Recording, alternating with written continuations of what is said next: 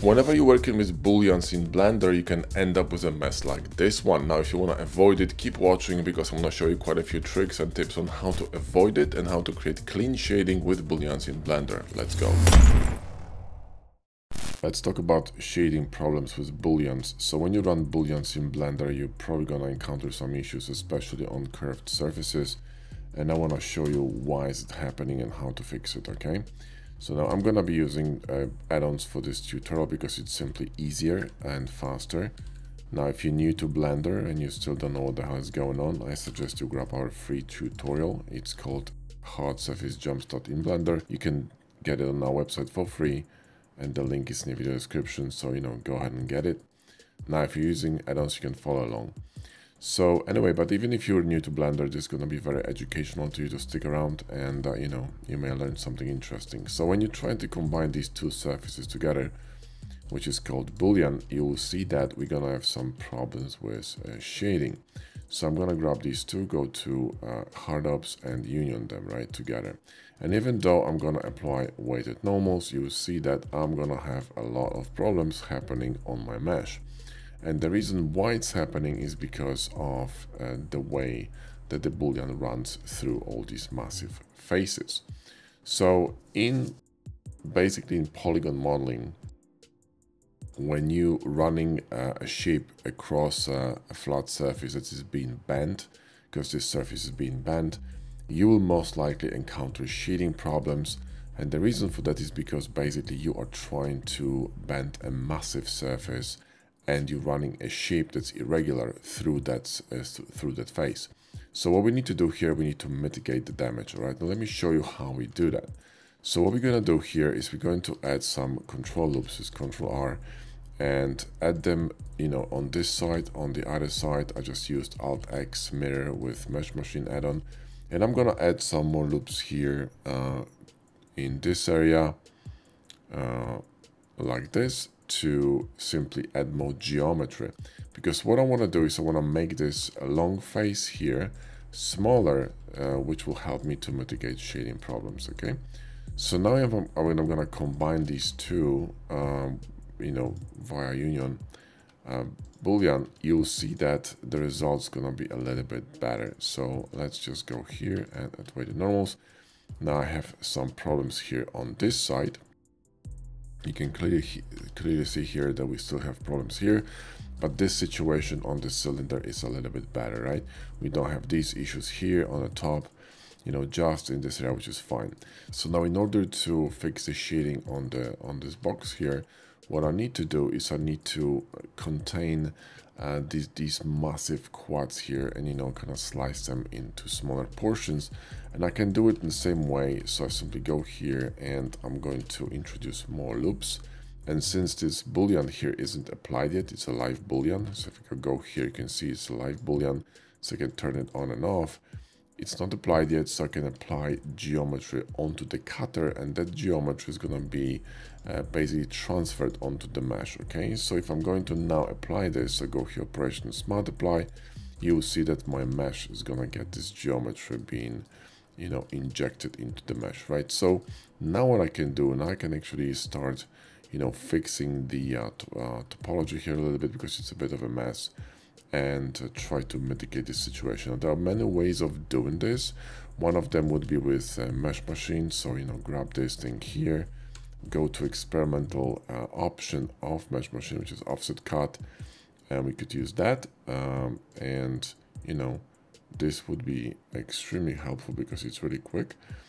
We're going to increase the factor to increase the density, make it smooth, and also uh, turn off the optimization and I'm gonna simply run a bevel here which will you know connect these two shapes.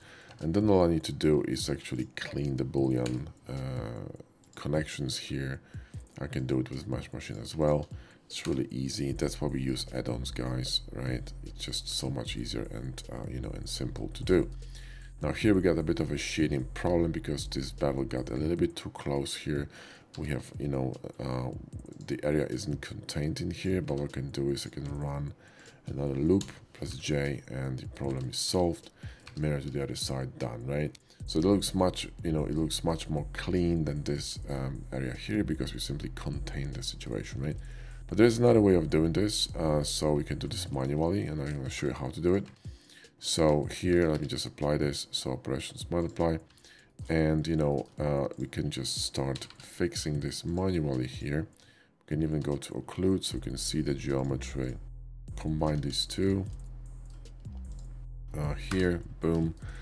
And combine these right? And then I can combine these here shift one right? Combine these shift one and I can actually run this edge here like this uh, to create this kind of like a you know parameter around this connection to contain the uh, the shading. Uh, we can combine these two and these two are fine. We can actually move them away from one another and it's gonna be okay all right so now you see that this looks much cleaner now and you know the shading will never be perfect because uh, we're working with uh, you know we're working with booleans and working with polygons so you know it depends on how dense topology is going to be because the denser topology, the easier it's going to be you know, to contain the shading problems. Uh, but, uh, um, you know, this will do. So now we can copy this to the other side, so we don't have to do it on the other side. And probably copy to the bottom, so we don't have to do it on the bottom. And, you know, we're done. Now, this issue here is caused by a lack of bevel. And the bevel simply isn't added here because the edge, um, this angle here between these two surfaces, is lower than 30 degrees.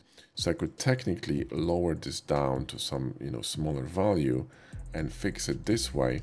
You just have to be careful and look around your mesh if you're not causing any problems. Because if you overdo it, you're gonna basically make a lot of faces look flat. Let me show you.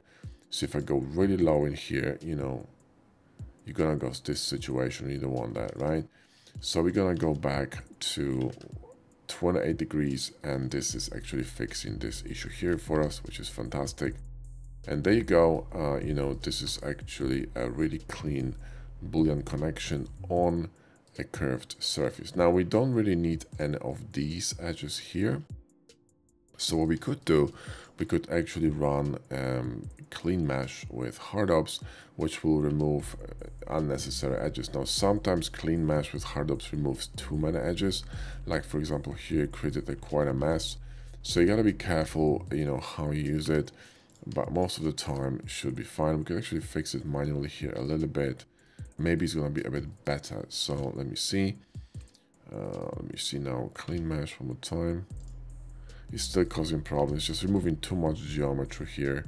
So you know what? We're just gonna skip it and um, we could technically remove this automatically I mean manually yeah? So we could just you know snatch all these edges here. We really don't need them. They just don't contribute to the shape. They simply just uh, you know create unnecessary geometry. Neither these we don't need any of these. Technically we don't even need these I think although these are actually kind of continuing through. I mean, these are fine, but we don't really need, if you wanted to remove, you can actually remove all these here as well. You don't really need that. All right, so technically probably gonna remove that, you'll be fine. See, shading doesn't change, right? So there's a lot of stuff you can remove and, uh, you know, shading's a hold.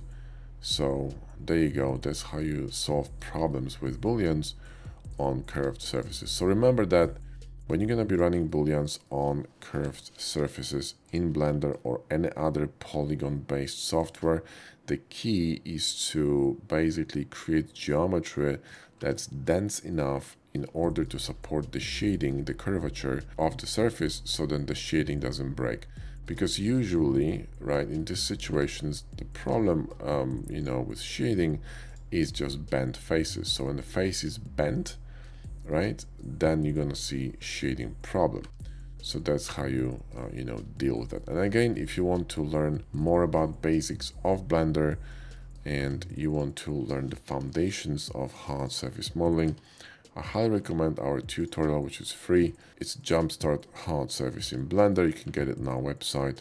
The link is in the video description. Uh, thanks for watching and I'll see you in the next one